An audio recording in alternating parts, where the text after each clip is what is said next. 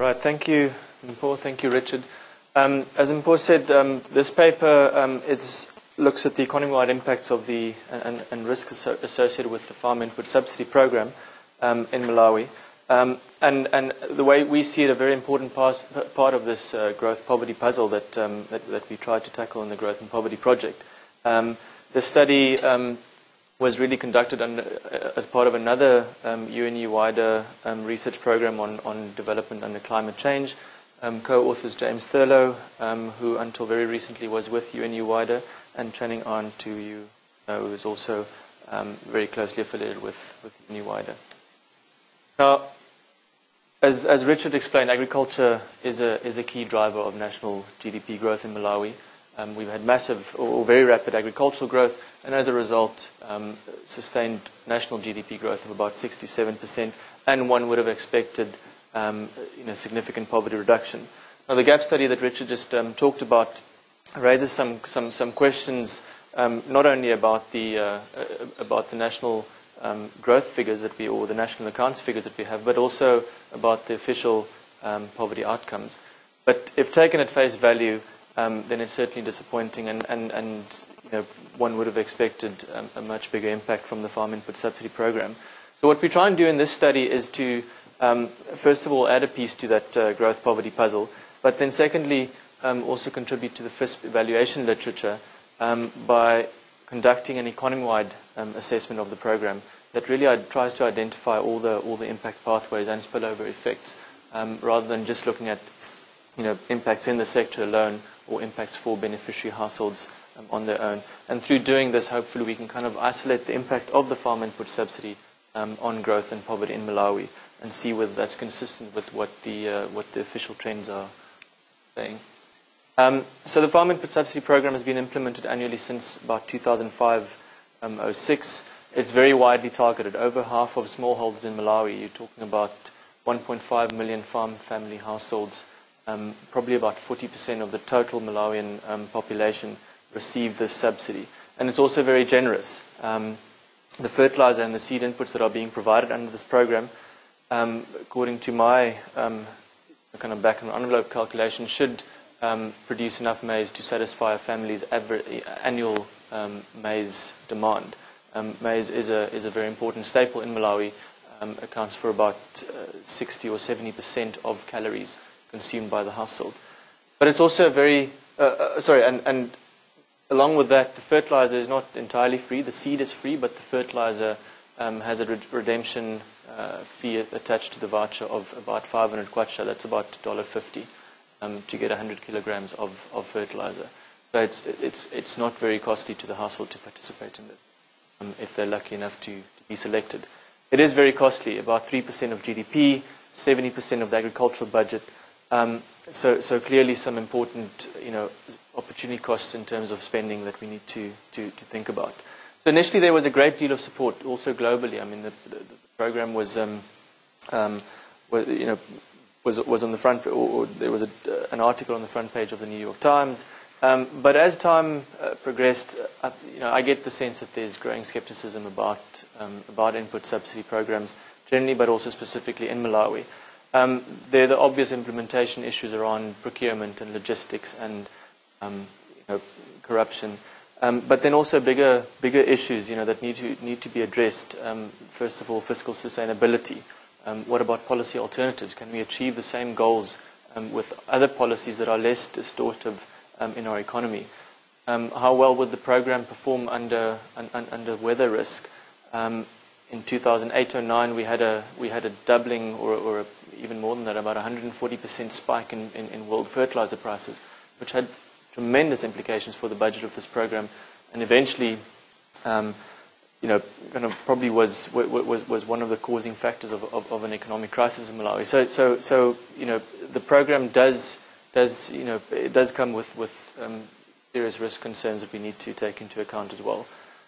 The evidence that we have at the moment, um, you know, ranges from, from, you know, suggesting marginally positive returns to the program um, to more recent evaluations, you know, looking at current prices, you know, of fertilizer and, and, and maize, um, suggesting relatively high returns to this program, um, not only in terms of, of, of, the grain output, but also in terms of household um, income of beneficiaries. Um, the implications for the rest of the economy is less clear, and that's where we, where we try and come in. So what we're doing um, here, and I lifted that top paragraph straight from the paper simply because it, you know, it, it says it quite, it explains it quite well. It's a kind of a mixed methods approach um, where we harness the strength of both ex post um, evaluation data, you know, not anything that we had done, but you know, a lot of the analyses that have already been done, the data is there. We use that ex post data. We triangulate that with other information we have about, um, uh, you know, about um, input use and technologies within within agricultural sectors in Malawi, um, and we then build this into our ex ante modeling framework, which is an economy-wide framework, um, to really get a comprehensive picture of um, uh, and, and, and, what we think is a, is a fairly unique um, approach to, to program evaluation. So essentially what we do is we, we, we have a CG model. Um, we calibrate it with the 2003-04 SAM. Um, the reason for that is that that is our, our you know, a, a good um, base year for a, a, farm input subsidy program evaluation. Um, this model includes a traditional maize sector, which looks like you know, maize produced, the, the way we produced maize before the input subsidy program came along. But then we build into that new sectors, which we're going to call FISP sectors, or um, and, and, we're going to have a, a FISP maize sector, um, which is where all the all the subsidized maize is going to be produced. We have a FISP fertilizer sector, through which we import the fertilizer needed for for this FISP sector, and we have a FISP seed sector as well. And and we take program design elements, um, you know, and farm level evaluations of the program to, to carefully construct these these sectors. And what we then essentially do is in our simulation we exogenously allocate 500,000 hectares of land to the, these new sectors, blow them up to scale, and as they grow, they pull in the resources that are needed um, in order to become, uh, you know, to, to produce the maize um, that we expect to be produced under FISP. Um, and, and, it ultimately then exactly replicates um, the, uh, the impact of the farm input subsidy program at the sector level. Right? So we can then measure these, these direct production effects of the program. But the usefulness of having this embedded inside an economy-wide model is we can also look at the spillover effects into the rest of the economy, um, specifically those associated with uh, price and income trans transmission effects, resource allocation. I mean, there's tremendous competition for resources when you when you introduce a big program like this. Um, also, financing implications and balance of payments effects. None of these kind of indirect effects have ever been evaluated. So, as far as we know, this is this is the first paper that attempts to do that. Um, we can also then, because we have this ex ante model framework now set up with um, a, a, simulated farm input subsidy program, we can look at things like what happens if we change our assumptions about marginal returns to fertilizer use, which is a very important parameter in our, in our benefit cost analysis. Um, what about playing around with program scale um, or with fertilizer price shocks or with, with weather variability? Um, so it becomes a very useful tool not only for kind of traditional impact evaluation but also playing around now with, with alternative program designs and, and, and risks.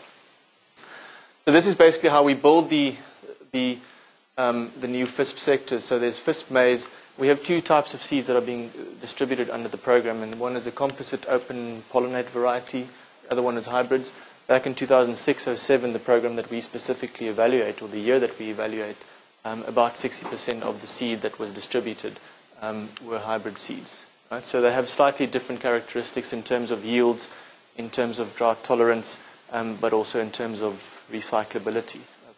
Hybrids need to be purchased every year. We just do a static analysis, so we don't actually look at the, this, this option of recycling the composite maize seed varieties, um, which is something that um, we may need to consider doing in the future. You'll notice that we assume, based on recommended fertilizer application rates, there's a much higher, and, and because fertilizer is being given for free, a much higher um, fertilizer use in our, in our FISP sectors compared to our traditional maize um, sectors. Um, also, exclusively use of improved, improved seed varieties. We specifically look or take into account the, uh, the seed planting rates. Uh, slightly more labor needed. And then ultimately, um, you'll see the big yield differences between these different maize varieties. Um, so essentially, as we shift maize away from um, traditional agricultural sector, or uh, shift land across to these, um, these, FISP, these subsidized sectors, we do expect average maize yields to increase economy.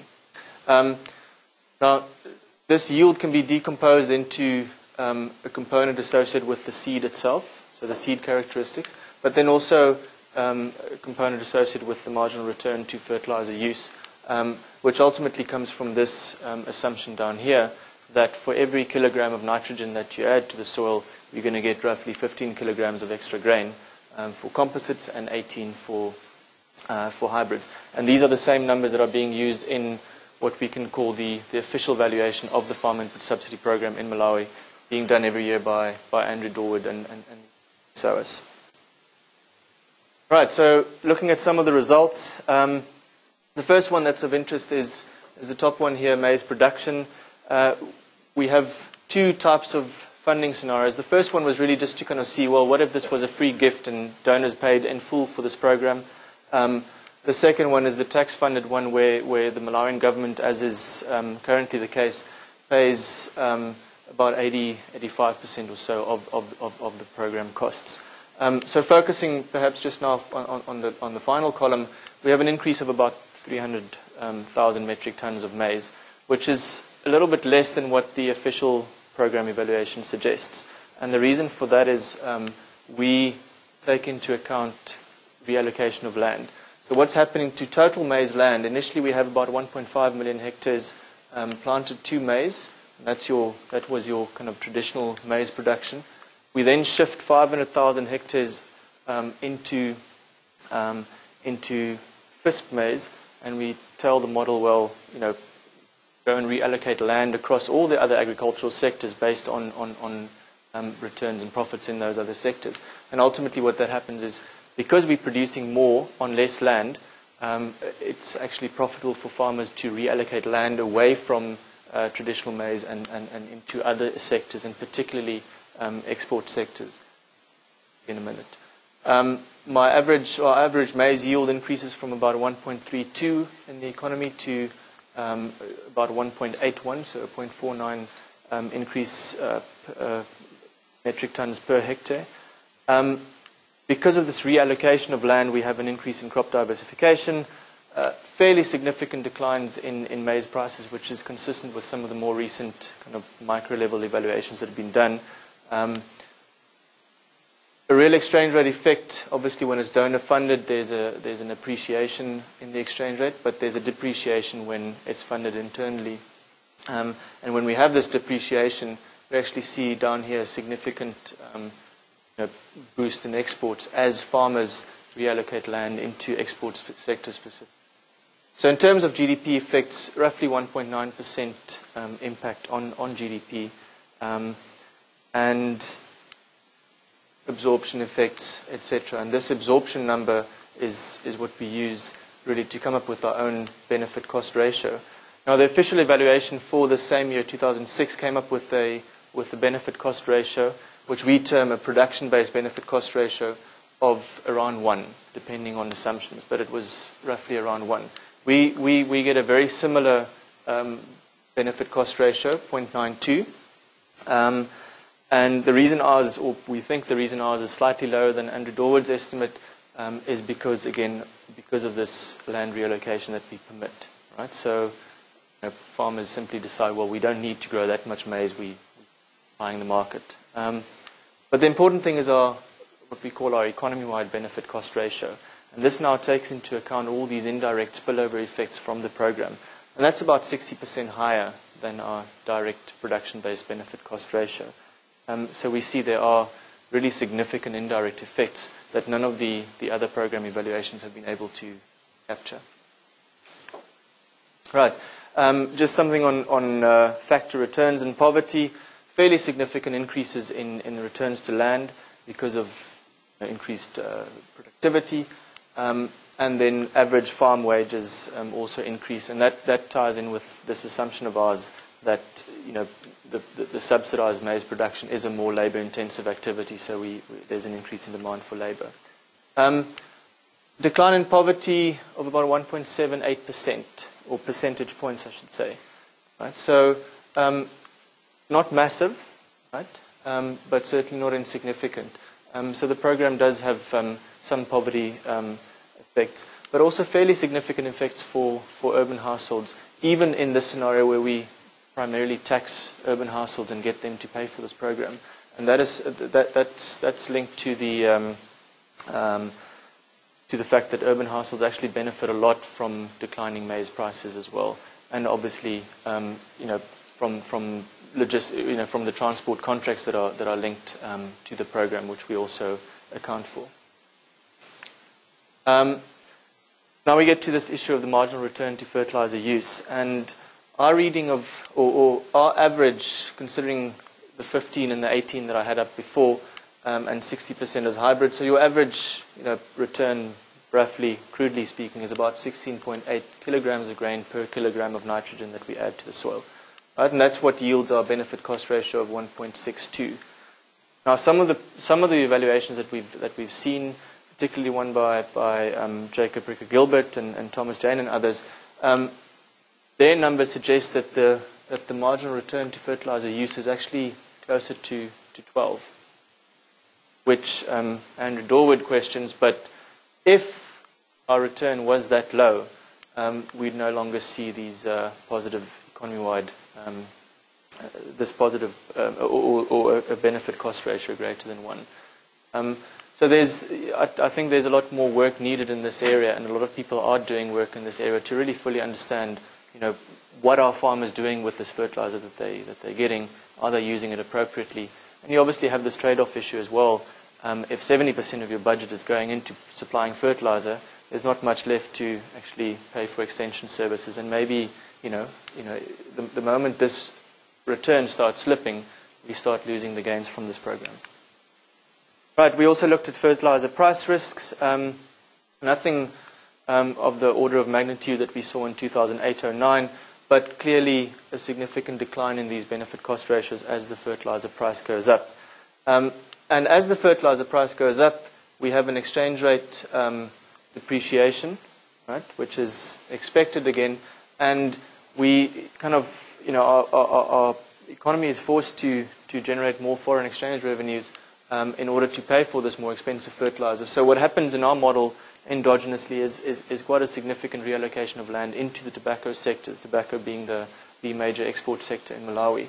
Um, the, now, I, you know, I, I, haven't had a chance to, to look into this carefully, but you know, thinking about the 2008-09 price shock, um, it wasn't long thereafter where Malawi suddenly oversupplied tobacco, and it's a, it's a major supplier of burley tobacco. The tobacco price collapsed, and that was the start of the financial crisis in Malawi. So maybe something to this effect did happen. It was, you know, possibly, um, you know, uh, you know, the start. The fertilizer price um, increase was possibly the start of of, of the financial um, crisis eventually.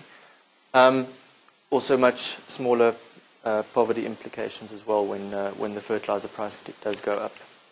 Now, the last thing we did was look at um, weather variability and how this program performs when we do have drought events.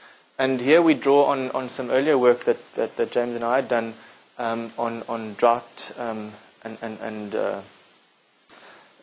and, and uh, economic uh, or production, um, maize production in Malawi. And we actually have some data working with, with a group of meteorologists from, uh, from India showing the production losses associated with uh, droughts of different return periods. And these return periods tell us about the, not only about the severity of the drought, but also about the probability of that event occurring. And we notice that local, the red line here is the local varieties, local maize varieties, much more um, vulnerable when it comes to droughts. Um, so much smaller losses for hybrids, and our composite varieties are actually supposedly um, the most resistant to droughts. So what we thought about doing here was, well, actually, if we are shifting into subsidized maize production, which includes, and you know, importantly, includes a seed component and, and increases the, the, the, amount of uh, improved seed varieties, then we're actually buying not only higher yields, but we're also buying greater drought tolerance um, when a drought does come along. And so the, the dashed lines down here show your benefit cost ratios for droughts of different um, severities. This vertical line is a roughly a, a one in seven year drought, which um, I won't go into this, but that's kind of your average annual expected loss, um, which we talk about a lot more in the other paper. Um, but essentially, what we have here is, you know, so for the actual program, which is the red line, um, we have a decline um, in the benefit cost ratio, and only when we reach a, roughly a 1 in 13 year drought does it drop below 1. But then, um, I'll just very briefly say what we really should be thinking about well, what if we didn't have FISP? Right? We would have had much bigger drought losses. Right? Um, so, this is an adjusted um, or a baseline adjusted. Um, so, looking at the benefit relative to what we would have achieved if we didn't have FISP and, and still you know, had a lot of uh, local maize varieties in our, in, our, in our seed mix. Right, so conclusions. Um, FISP is reasonably pro-poor, has the potential to generate substantial indirect benefits, and we, we strongly believe that, um, you know, that this approach that, we, that we've developed here um, strongly complements uh, some of the uh, kind of partial equilibrium or, or micro-level survey-based methods. Benefit ratios depend very strongly on the marginal return to, to fertilizer use. So this is an important area um, of, uh, you know, for intervention and, and, and, to make sure that the program remains viable. Um, we need to um, make sure that these, that these marginal returns do not drop off. And, and, and, really, we need to get a better sense of what they actually are in the first place. Um, we did some work on uh, real fertilizer prices um, and saw that macroeconomic constraints in terms of paying for the fertilizer then really come into play. Um, the benefit cost ratios, as we said, they, they, they fall during a drought year, but the FISP does generate double dividends of higher and more drought resilient yields. So there's a kind of a hidden benefit to this program as well.